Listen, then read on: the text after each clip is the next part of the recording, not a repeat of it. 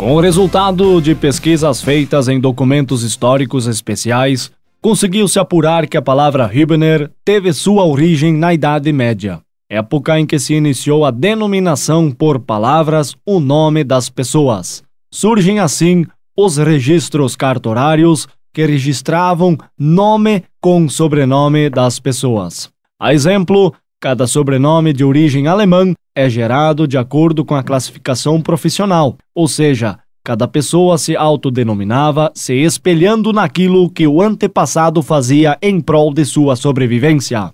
Exemplo: Schneider, alfaiate, Schumacher, sapateiro, Schmidt, ferreiro e Miller, munheiro, assim como Fischer, pescador.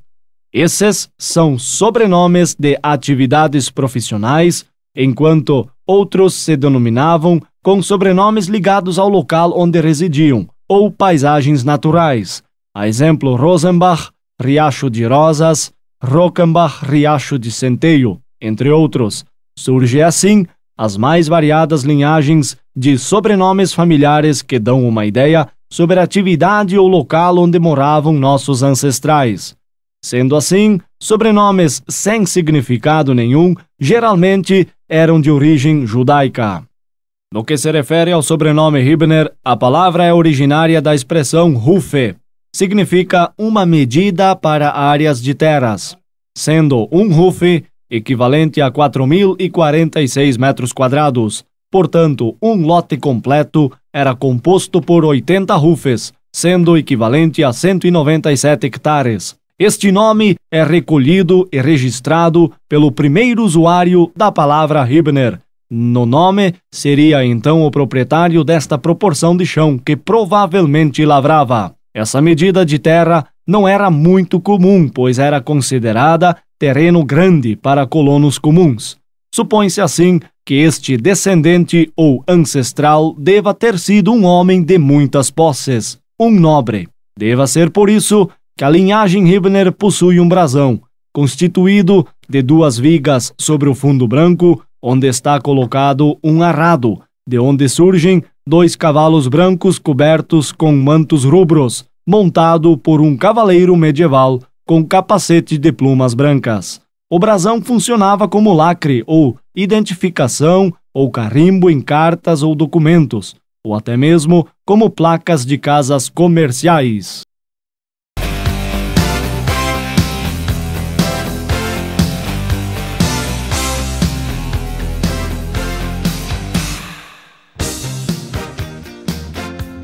A imigração alemã teve oficialmente início em meados de 1824, um projeto de Dom João VI. A ideia foi de colonizar a região sul, pois a mesma estava despovoada e com as fronteiras mal definidas, sendo a região vulnerável a invasões espanholas. A ideia ganhou força com Dom Pedro I e Dom Pedro II. Enquanto isso, na Europa ocorria a decadência do sistema feudal, modo de produção manual. Muitos camponeses e profissionais liberais ficavam sem trabalho devido às inovações nos modos de produção. Aconteceu assim uma migração em massa rumo às cidades, tornando as cidades hiperpopulosas e sem oportunidade para todos, desencadeando assim graves problemas sociais. Sabendo disso, o Brasil Imperial manifestou interesse em absorver imigrantes livres, prometendo terras abundantes, assistência e amparo nas novas colônias do Sul. Enquanto na velha Europa, os impérios incentivavam a saída de pessoas para buscarem um futuro melhor.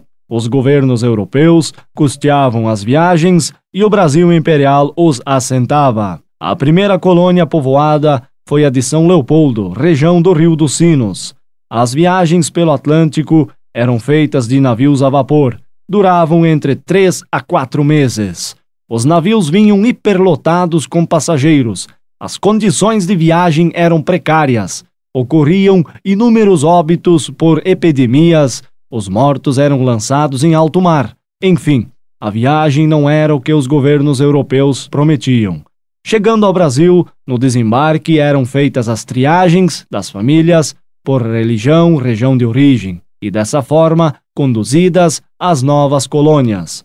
Muitos morriam por doenças tropicais e até desgosto, pois só havia mato e índios. Não era o que os governos europeus tinham prometido. Muitos familiares se decepcionavam com a falta de auxílio do governo brasileiro. Muitos lotes de terras eram ácidos ou áridos ou com muita laje. Derrubava-se o mato, plantava-se algumas sementes, por fim não conseguiam colher nada. Com a decepção e desgosto, passavam até fome. Inúmeros assentamentos, como o do Vale do Cânhamo, foram completamente esquecidos pelo governo brasileiro, ficando difícil até de sobreviver. Com a chegada desta grande leva de imigrantes europeus, estaria o então Rudolf Hibner, nosso patriarca, um remanescente do antigo Império Austro-Húngaro. Rudolf nasceu em 15 de maio de 1870, no povoado extinto de Niedergreibitz, estado de Böhmen, Áustria. Era filho de Adolf e Helena Hibner. Rudolf veio para o Brasil entre o ano de 1885 a 1890. Desembarcou na costa gaúcha, sendo assentado na colônia Venâncio Aires. Segundo informações não precisas, Rudolf teria vindo ao Brasil acompanhado de sua mãe Helena. Em Venâncio Aires, Rudolf conheceu Maria Vickert, nossa matriarca, com quem casou-se e tiveram quatro filhos. Eram eles Guilherme Adolfo, Paulina, Irma e Henrique Francisco. Rudolf e Maria eram agricultores. Mais tarde, Guilherme Adolfo, o filho mais velho do casal, casa-se e vai residir em conventos, Lajado e as irmãs Paulina e Irma vão rumo a Porto Alegre para estudar. E Henrique Francisco, o filho mais novo do casal, casa-se e vai residir em Forqueta, atual Forquetinha. Por fim, Rudolf perde sua esposa, Maria Vicker. Estando sozinho, Rudolf muda-se de Venâncio Aires para Lajado, para junto do filho Guilherme Adolfo. Passou então a trabalhar como marmorista, confeccionava capitéis para túmulos e assentava pedras de fundamento para casas. Rudolf construiu seu próprio capitel, que fora depositado em seu túmulo após a sua morte. Em 1934, aos 64 anos de idade, Rudolf vem a falecer, sem assistência médica, na residência de Guilherme Adolfo. Está sepultado no cemitério católico de Conventos.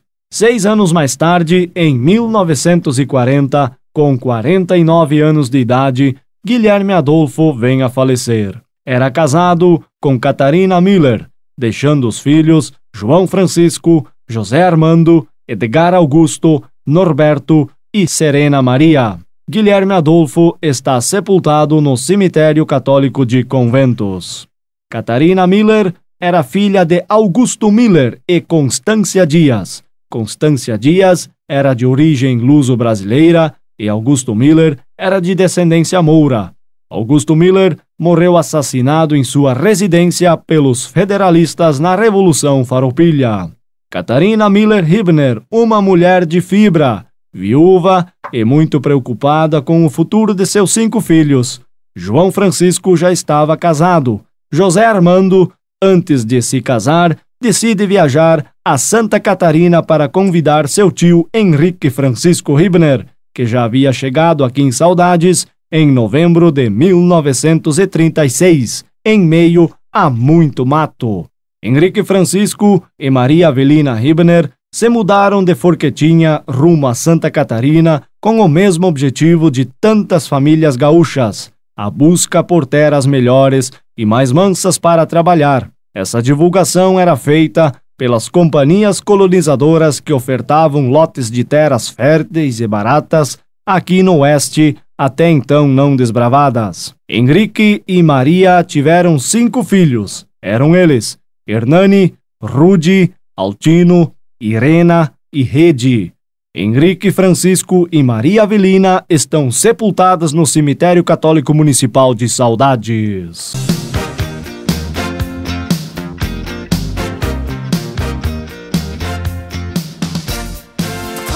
18 de novembro de 36, nós chegamos aqui em Saudades. Mas puro mata, puro, puro, puro, puro.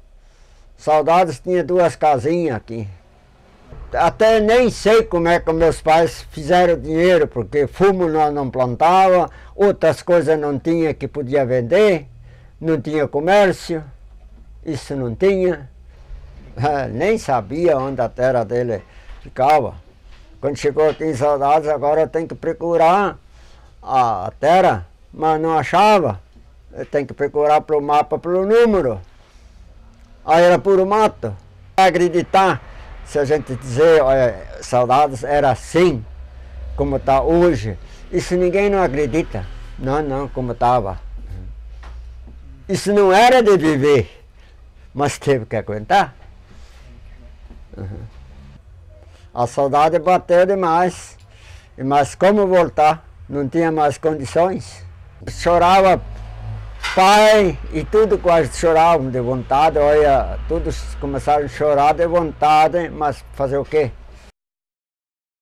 Cara, aqui José Armando percebeu que aqui as terras eram mais mansas e melhores de se trabalhar, o contrário do lote de terras que tinham em conventos com muros elevados e pesado de se trabalhar. Ao retornar ao Rio Grande do Sul, José Armando fez uma proposta de negócio à sua mãe Catarina, de vender tudo e ir para Santa Catarina. Nesse entremeio, José Armando casa-se com Helma Franz e logo em seguida partem rumo à nova Heimat interior da futura Saudades.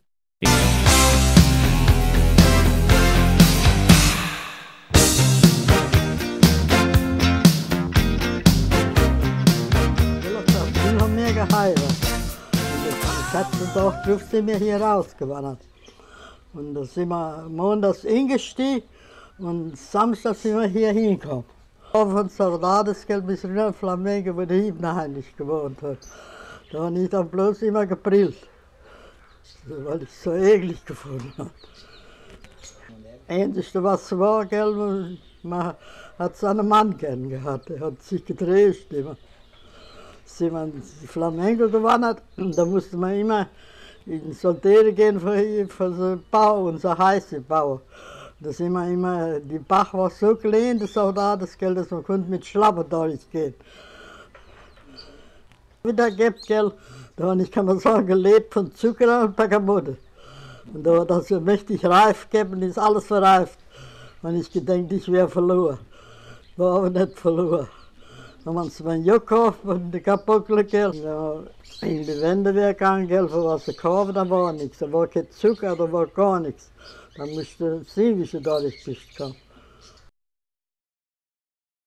Enquanto isso, ocorre a venda das terras de Catarina Hibner, lá em Conventos, para daí partir em definitivo da velha terra natal rumo a Santa Catarina, ou como dizia a avó Catarina, Ishvandra Indicera. A caravana chega em Saudades em setembro de 1945, estabelecendo morada onde nasceria a comunidade de Linha Solteiro Saudades.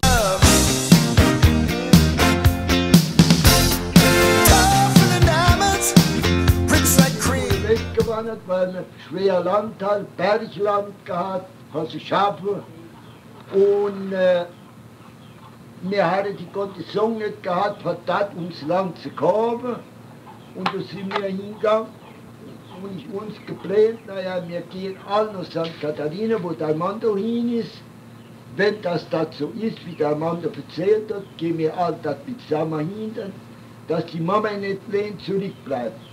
Und da sind wir dann, sind ich dann dort raus, die, wie ich die erste Reise gemacht habe, montags ohne ingestiegen und samstags abends war ich in St. Carlos und sonntags morgens habe ich mich zusammengerafft, ja, bäh, sind durch Bella Vista, Saudades, bis hier runter bei meinem Onkel und meinem Bruder Armando.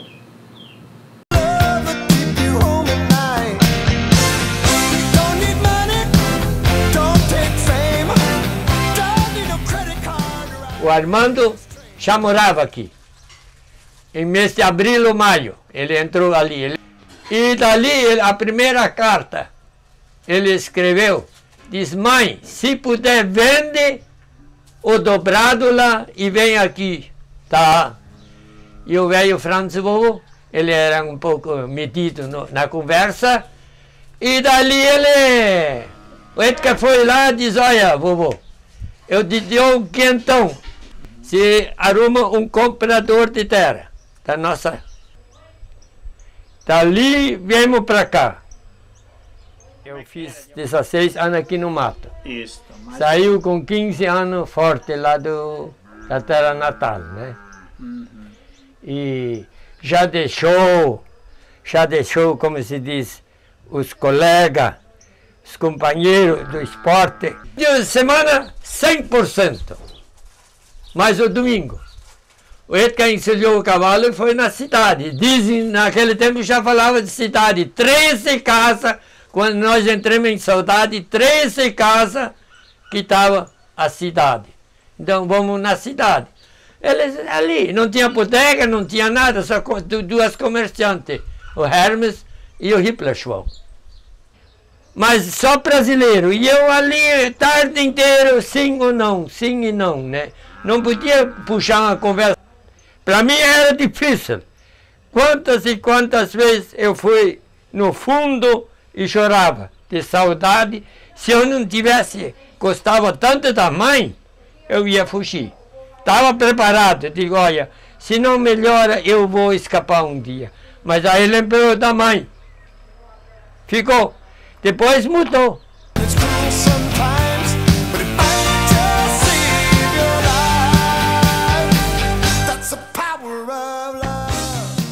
Saímos lá muito triste e muito pesado.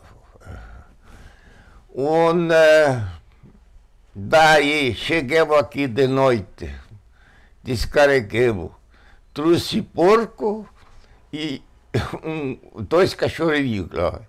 O João foi na frente e fez uma casinha, sabe, depressa, e é, mal construído. É.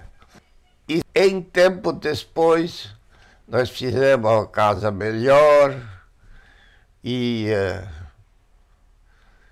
eu e o Norman trabalharam na tua, vamos dizer, plantaram milho, tanto milho. Esse calpão tinha uma buchada por cima, esse achemos, enchemos de milho de frente até fundo.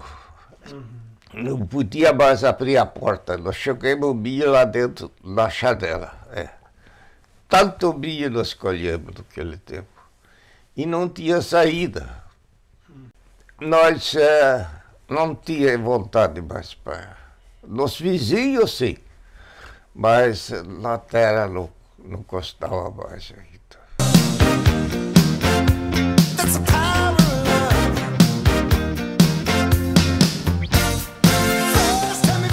Mas era bem pobrezinho, era o rancho, nós moramos três meses, cozinhamos, embaixo de uma barraca, feito de tava.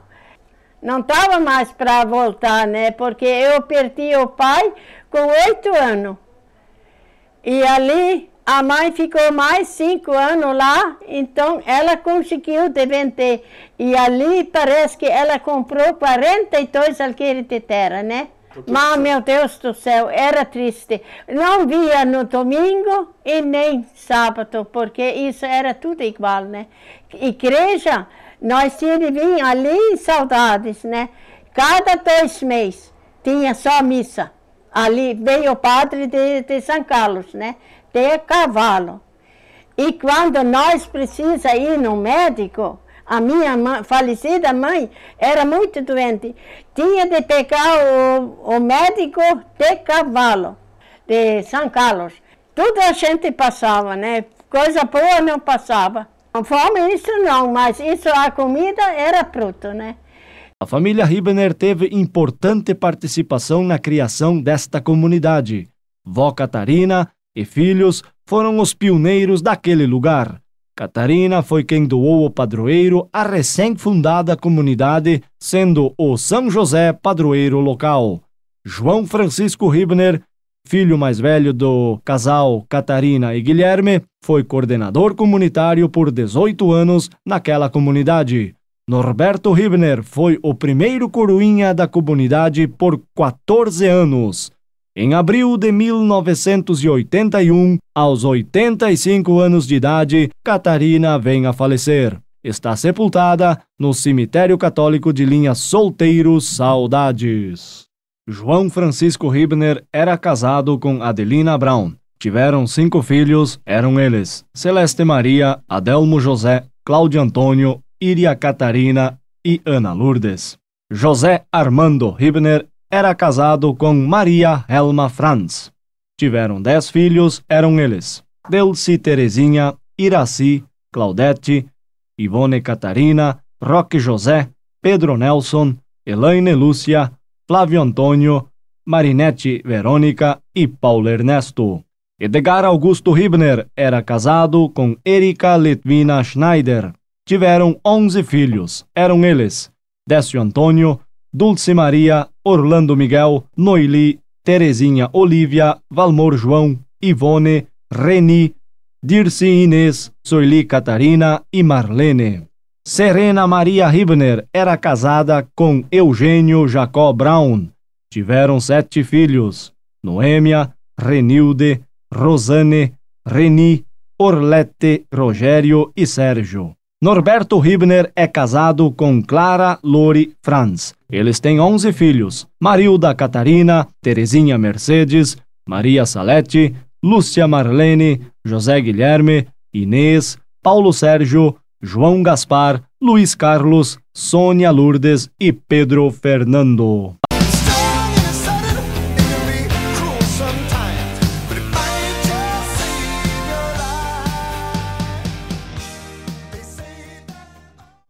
Os ascendentes de Henrique Francisco Ribner. Aldino Avelino Ribner esposa Alvina Maria tiveram 11 filhos. Verena, Lorena, Ido, Valdi, Reda, Elpidio, Lori, Adélia, Dulce e Otávio e Dirce. Hernani Hibner e esposa Maria tiveram cinco filhos: Ivonir, Euclides, Alvino, Rudi e Egídio. Rudi Hibner era casado com Hannah. Tiveram seis filhos: Hari, Auri, Guido, Erno, Lori e Walter. Avelino Franz era casado com Redi Hibner. Tiveram sete filhos.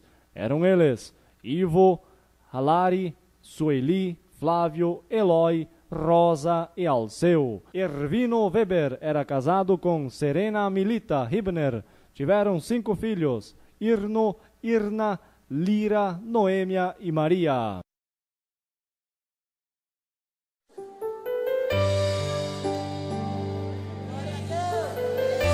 Obrigado, Senhor, pela minha família.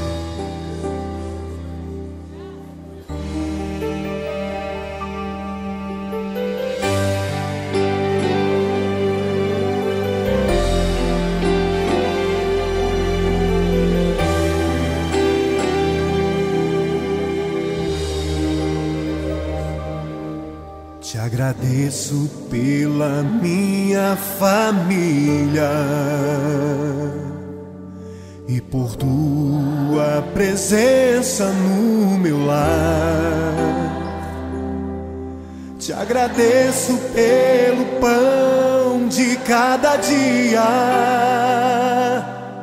que o Senhor nunca deixou faltar. Agradeço pela nossa harmonia. Só em Ti, Senhor, podemos confiar. Já te agradeço pelas tuas maravilhas e os milagres que ainda há de operar. A minha família é bênção do Senhor. Me ensina a tratar minha família com amor. edifica minha casa para o teu louvor. A minha família é um presente do Senhor.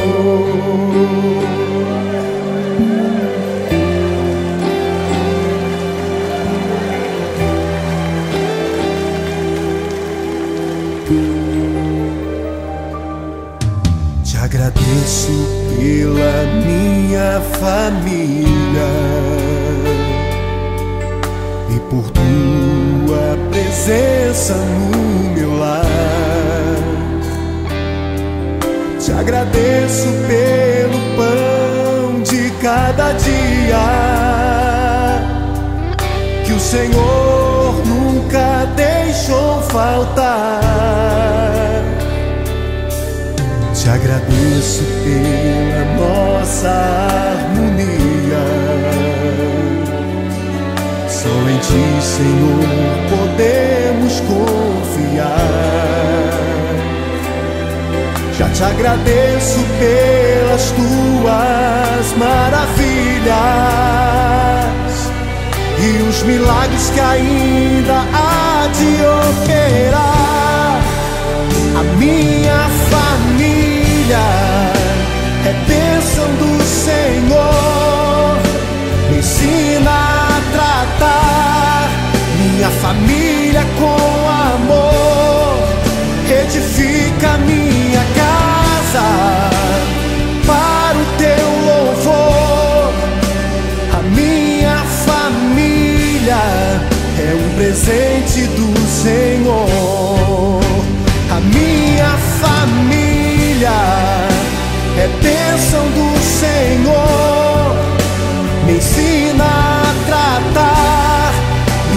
Família com amor.